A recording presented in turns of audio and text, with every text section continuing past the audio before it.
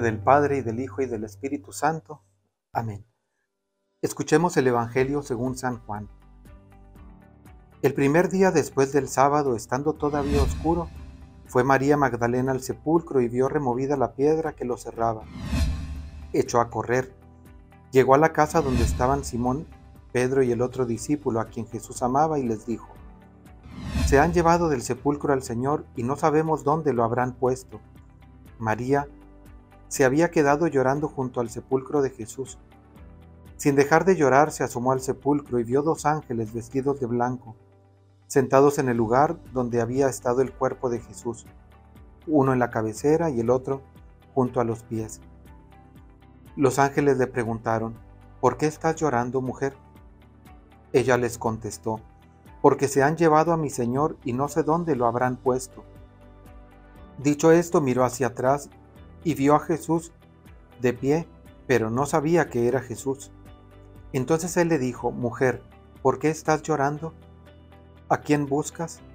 Ella, creyendo que era el jardinero, le respondió, Señor, si tú te la llevas, te lo llevaste, dime dónde lo has puesto.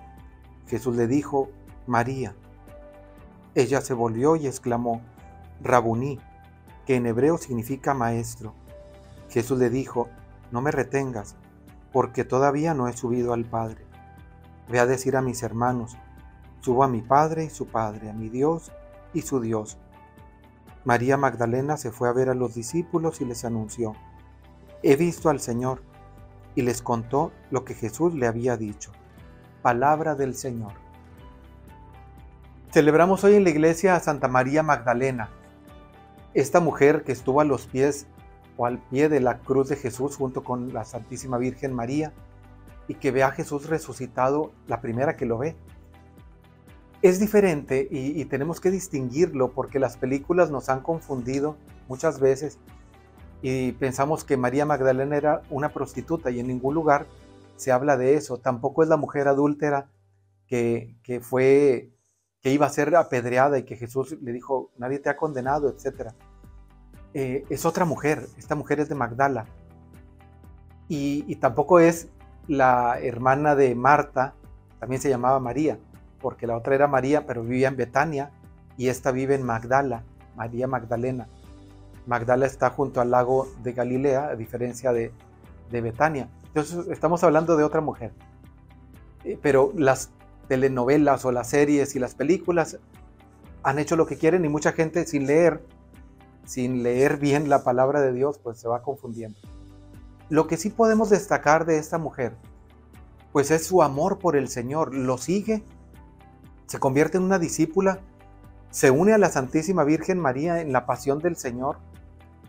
Y luego ella, quizá con otras mujeres, fue al sepulcro porque quería ungir el cuerpo del Señor. Recordemos que el cuerpo de Cristo había sido bajado de la cruz como que deprisa y había sido llevado a sepultar sin todos los, rituales que hacían los judíos. Entonces fue el viernes la muerte del Señor. María Magdalena deja pasar el sábado porque el sábado era un día que tenían que cuidar, el, el el sábado que no debían de caminar cierta distancia, no debían hacer ciertas cosas. Finalmente llega el domingo y ahora sí va. Y a lo que va es a seguir expresando su amor a su maestro, los discípulos ya no volvieron, recordemos los de Maús, esa tarde se van a ir desesperanzados, aun y cuando habían escuchado que, que las mujeres decían que Jesús estaba vivo. Bueno, pero ella no, ella está firme aún, su amor está intacto.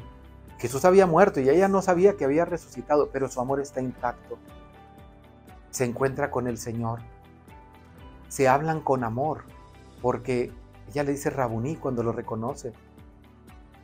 Y Jesús le dice, ve a decir a mis hermanos, eh, subo al Padre, etc. Lo importante es que ella se convierte en la primera que anuncia la resurrección. Si nosotros como cristianos estamos llamados a anunciar la muerte y resurrección de Cristo todo el tiempo, pues entonces tomamos esta lección de esta mujer, que, que es la primera que lo anuncia, y que nosotros estamos llamados a hacerlo igual. Nosotros decimos en la misa, anunciamos tu muerte, proclamamos tu resurrección. Que Jesús está vivo lo tenemos que anunciar siempre. Por eso, que nada nos detenga en nuestro anuncio de que Jesús está vivo, así como María Magdalena, que nuestro amor nos mueva a proclamar la resurrección del Señor. Y la bendición de Dios Todopoderoso, Padre, Hijo y Espíritu Santo, descienda sobre ustedes. Amén.